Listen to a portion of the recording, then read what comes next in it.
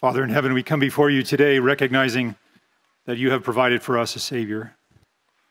We come before you recognizing that that Savior is the one who was sufficient for the task that you gave him to save those that you sent him to save.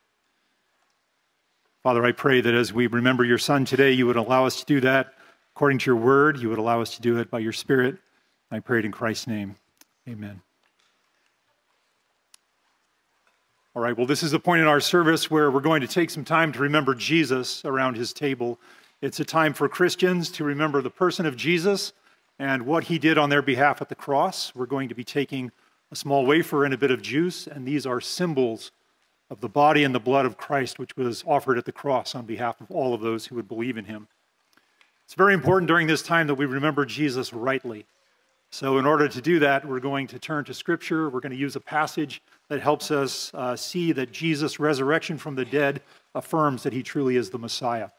So, if you have your Bibles with you, would you turn with me to Matthew chapter 12? We're going to look at verses 38 through 40. And some men are going to be coming down the aisles. And if you don't have a Bible, simply raise your hand and they will get a Bible to you. If you don't own a Bible, please consider this as our gift to you so that you can begin reading God's Word for yourself. The setting here starts in verse 22, and Jesus has performed a miracle. He has cast the demon out of a man who is mute and blind. And the demon departed from the man, and the man was able to see, and he was able to speak. And the crowd saw this, and they began to wonder aloud if Jesus was the son of David. They were wondering if, if he was the Messiah that all of Israel was hoping for, that would come and set up his reign on this earth. But the Pharisees were there as well. And they saw this, and they claimed that Jesus cast out this demon by the authority of Satan. Jesus corrected them and he rebuked them by telling them simply and by telling them plainly that a house divided against itself will not stand. But then Jesus went on to speak against them more, and in verse 34, he starts to expose them for the worthless shepherds that they really are.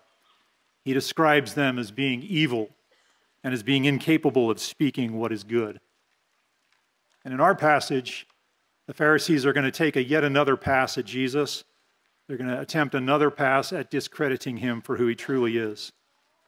So, as we read our passage, take note in verse 38 what they demand of Jesus, and then notice Jesus' response in verses 39 and 40.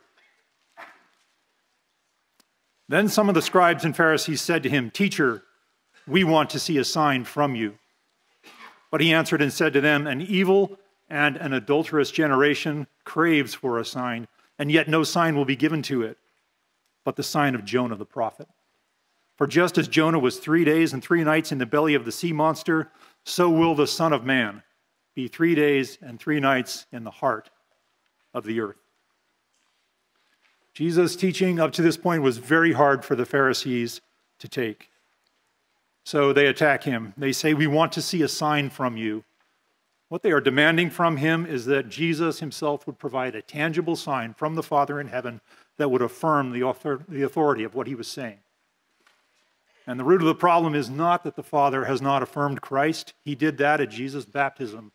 He says in Matthew chapter 3, This is my beloved Son, in whom I am well pleased. So the Father's authentication, the Father's affirmation of Jesus is very, very clear. The real issue is with the Pharisees themselves. Uh, they've heard Jesus' teaching, they've heard it clearly, they've heard it plainly, and they've refused to believe it over and over and over again. In verse 39, we see the Father's disposition towards that kind of person the person who has become hard to Jesus' teaching, the person who demands a sign to affirm what they are already rejecting. This is the Father's disposition. He says that the one who craves for a sign, the one who is looking for some sort of supernatural affirmation of something that is knowable by normal human means, well, for that person, no sign is going to be given to them. Jesus goes on to explain what will take place. And he describes the story of Jonah. In chapter 1, Jonah is thrown into the sea. And as he is sinking to his death, we read at the very last verse in Jonah chapter 1 that the Lord appointed a great fish that swallowed Jonah. And Jonah was in the stomach of that great fish for three days and three nights. So the Lord appointed that fish. Jonah prays in chapter 2, and at the end of chapter 2, we read that the Lord commanded the fish, and that fish vomited Jonah onto dry land. Jesus' message is very clear here. He's saying, The Father has appointed Jesus to enter into death, and the Father will command Jesus resurrection from that same death.